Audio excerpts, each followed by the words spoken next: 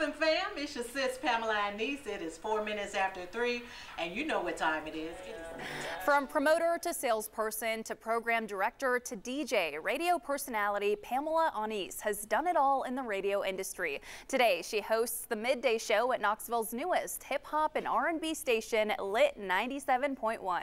A veteran of the airwaves, Pamela knows all too well the importance of music in black culture.